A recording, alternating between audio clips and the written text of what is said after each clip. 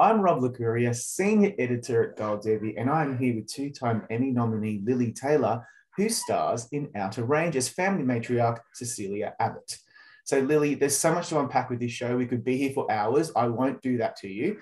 But what I would love to talk about, first of all, is the visual language that the show presents to us. It's breathtaking, and frankly, the story blew my mind, and I'm still kind of wondering what the hell happened. So, before we go any further, what did you most love about being a part of the show and bringing this story to life? I loved the collaboration with everybody. We were there for about eight months during COVID, and it sort of felt like a, like an outward bound, like a like a like a camp. So we were all bonded, and then um, and then I loved the elements. I think the elements were were a character in the in the show. The wind, the vistas, the heat. Wow. Yeah, that makes a lot of sense, you know, because it is beautiful to look at. Like, honestly, it is one of the most breathtaking shows to experience. And um, I was also thinking this this show rewards viewers um, that are patient and are willing to pay attention to the detail. And I give so much credit to the team for having some faith in the audience, you know, and and um, thinking that we'll we'll go along for the ride. Um, so that begs the question: Are the actors privy to the show's secrets and where the narrative is headed?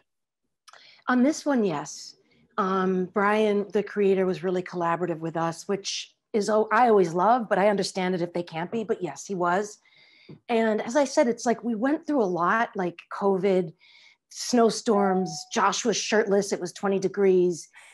You know, we things that didn't make sense sometimes, you know, like and so we had to kind of like, but wait, wait, wait, let's stop for a minute. I need to understand the physics of this situation. Please explain to me what, for instance, the hole is.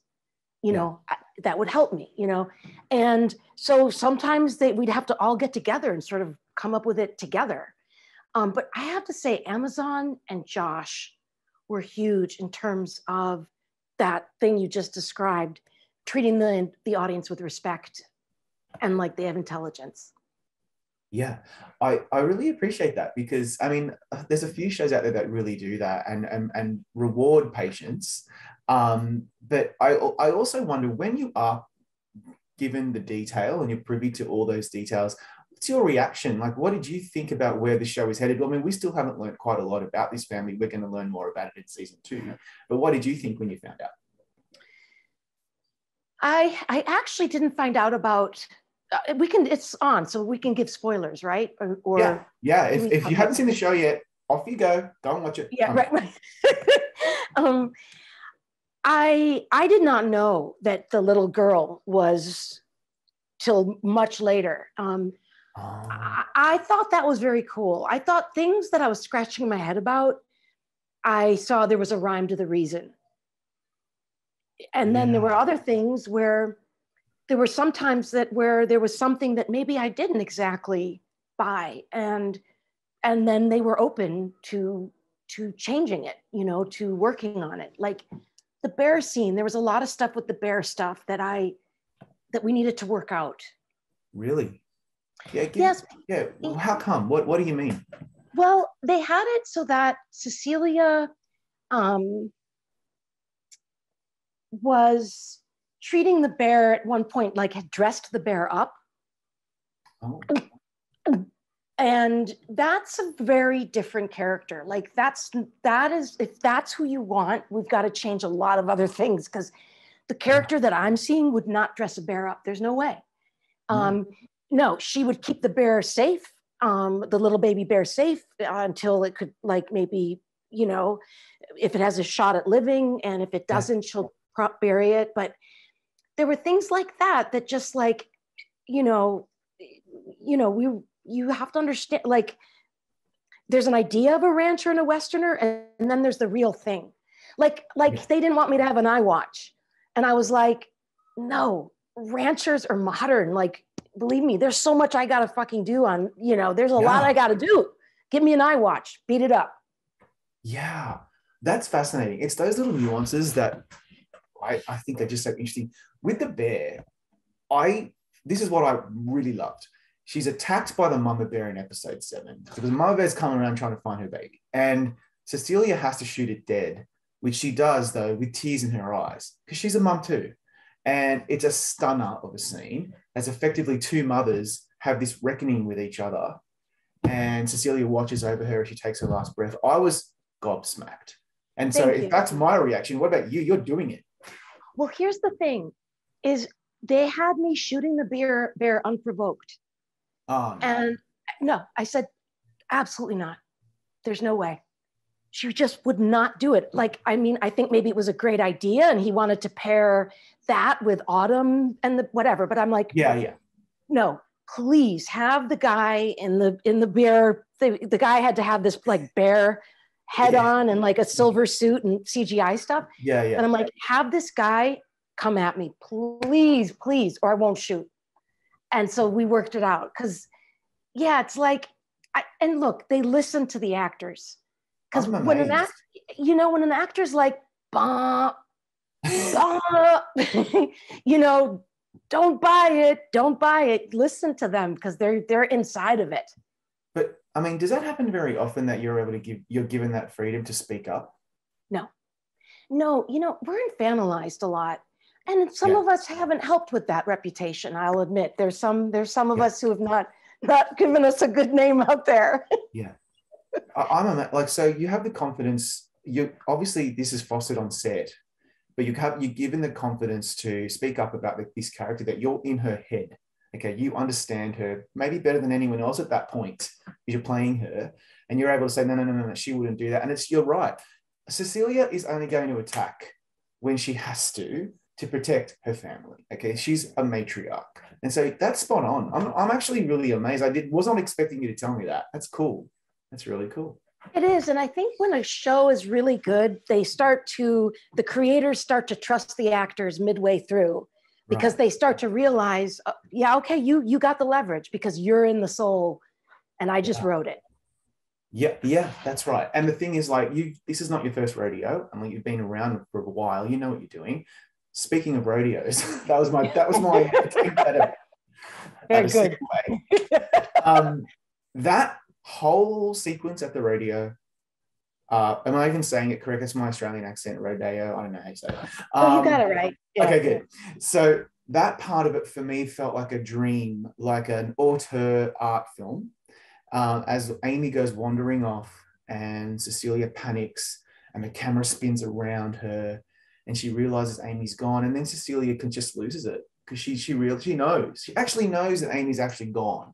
So Mm. what was going on on set that day and in prep to prep for that scene for Cecilia to come to that realization because I was still trying to follow how she got to that point.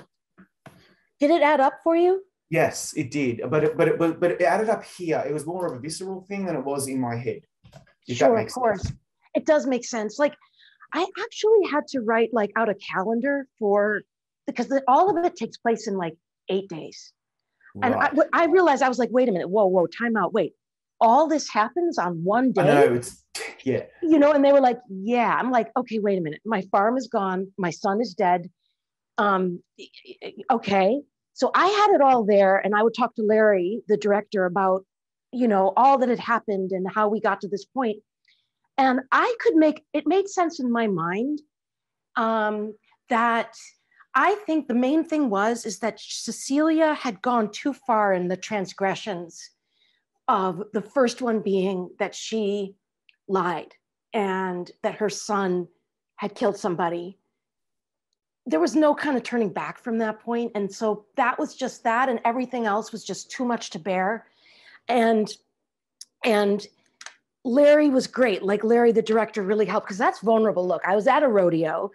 There's extras around. I'm freaking out. It's very uncomfortable to know, friggin' right? go there. Yeah, you, yeah, you've really got to go there. And because I was like, do you think Cecilia? Did she feel like is, is she blaming herself at all because she wasn't able to hold it all together for her family? Is in any way, or is that did that not really occur to you? Yeah, I think that's there. I think so. I think it was. Um, I think it, I think it was a real Job moment. I think it was really why have you forsaken me? Like feeling Right. like maybe she had a naive sort of faith, like a like a child almost. Like if I do this, God will do that. And all of a sudden, the earth is opening up. Like it doesn't life on life's terms. It doesn't work.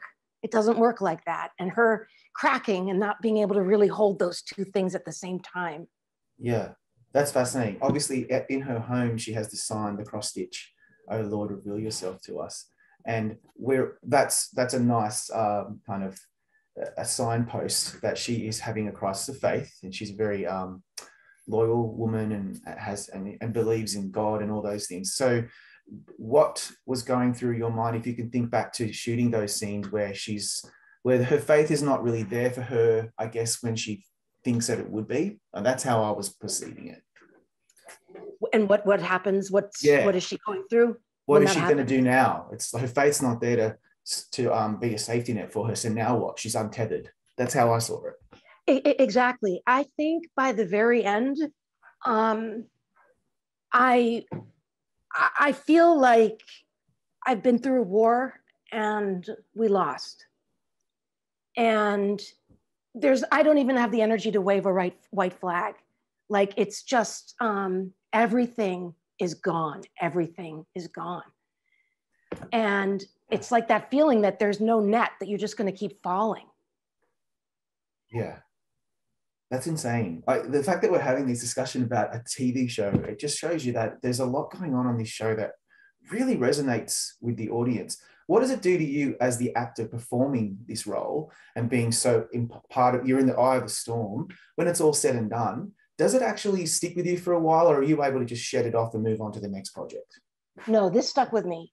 It stuck with a lot of us. Um, I think a lot of us had trouble sort of shaking it because again, really? it's like eight months during COVID, so we weren't yeah. allowed to see any. Okay, so and we're out at this ranch. It's as isolated as it seems. It's like there's nothing around, and and we got close, and we we all fought for this show because it went through a lot of a lot of bumps, oh, a lot of bumps, yeah. a lot of bumps. So I think that we did it like we did it and i was so i really loved the music too and i loved Thanks. the visceral feeling that what how you first sort of started the conversation like the visual and yeah. i felt like it's a ride this is so fucking cool that my yeah. body's feeling this show i know i don't know if you remember i think it was the beginning of season uh, episode four jennifer getzinger directed it and it um, there's this montage of like the land moving and like over history and then it ends with and the land and the sky didn't give a shit like because honestly we are just tiny little specks and uh, but then we get to go really micro onto this family to work out what the hell has happened over eight crazy days so that leaves us at this point now where we have seen a bit of the future because abbott's gone through the uh, royal's gone through the hole and he saw that future Cecilia's supposed to be have his back. She's the matriarch. She protects, and yet she's the one that says to him, "Run." So she's already moved on to the other side. She's on Autumn's side with the mining company. I don't know. I was really, really gobsmacked. What did you make of that? if maybe you already know, but what did you make of it? I don't actually. And in some ways, I kind of thought like this is so kind of out there anyway that I didn't need the physics of that to help me with the scene because it's sort of like um, there's some things as an actor you can just say, you know what, I'm okay if I don't know all that. And then there's sometimes when it's like, no, I have to know that actually. That one was like, all I knew was that the, the passion of Royal falling into a cult, really. It yeah. could, I could not live with that. So his spirit needed to run. Hmm. Yeah, that makes sense to me. I like that actually. Yes, I think that actually is what I wanted you to tell me. Okay, so then my final question about just in terms of the plot points, because I'm hoping fans of the show might watch this and get a few extra insights, is at the end, um, Royal says to Cecilia, he pleads with her, I want my family back. She kicks the table over and she declares, No, our family's gone, our children are gone, Amy is gone, and that's it. So that moment between you, I thought was electric and I want to know firstly, what did you most value? You've already kind of touched on this already. What did you most value about working with Josh Brolin? Because he is he seems larger than life on screen. Josh is my soul brother. I mean, he's he's my he's I love Josh. I mean, I feel like he's he's sort of inside of me, and I sort of use him as a healthy kind of champion. And to just he's my supporter. He's he's my i love josh. And i felt like we were partners and i just i just love josh. I love him. You hadn't worked with him before had you? No but i felt i felt like i had. How, does he that feels like a brother how do you get that kismet where you find somebody and you're able to have that connection? We talk about chemistry which i find a really cliche term these days but if it's you can tell if it's not there. And, and honestly it really is between the two of you. It's like this unspoken there's almost an animosity between the two characters but they obviously really do care about each other. How do you develop that? I know, you know, it, it is sometimes like it's sometimes it's like uh, out of your control, and it, it's like you don't have. It's like it's grace in a way. I mean, or it's something I can't explain it. When you don't have it, you just have to act like hell, and and do you know, and just and then just fucking you know, be grateful for the ones when you connect. But Yeah. Josh, right away, I just knew, oh, brother, this is going to be a blast. We're we we're good. We're good. yeah and we feel the same way when i when i first came upon the show i'm like okay so it's kind of like a western sci-fi. Okay cool. It stars josh brolin lili taylor. Okay i'm there. That's going to be incredible. And then of course the supporting cast. You've got like noah singing all those songs. I still have no idea what the hell is going on with that character but i'm there. I'm down for it. Like th- th- i mean so what's the feeling amongst are you in production on season two yet? Have you started filming? Oh, they No. haven't announced it. oh okay. I'm just assuming like it's happening but um Okay, Yeah, I'm gonna surely. ride that. It, it bloody well better happen, or there's going to be. I'll, I will. I will. I'll, I'll, I'll write a very rude email. Um, so let's hope that you get back. Are you? Uh, I guess you're looking forward to getting back to the ranch, and uh, I and want to go back so bad. I loved the job. I just loved it. I want to go back. Oh, that's really refreshing to hear. You can tell. You can tell when the when the cast and crew are really into it because the show just really works, and I just want to be more immersed in that again. Um, but Lili, in the meantime, I guess we'll just have to if if you if you celebrate, if you believe in God, pray for uh, a season two. And if not, um, it it was a blast. I had a really good time with this show, and and congrats on some really, honestly, some really strong work. Like really. Thank you.